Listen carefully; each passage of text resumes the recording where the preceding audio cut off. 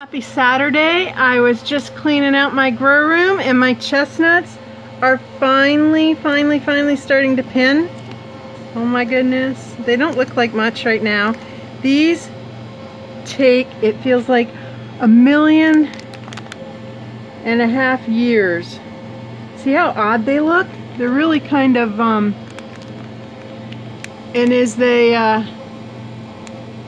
as they keep growing, they'll get even weirder. Um, until they look like normal mushrooms. This one's not, not making babies yet, but soon. And um, you guys are going to love these chestnuts when they finally start growing.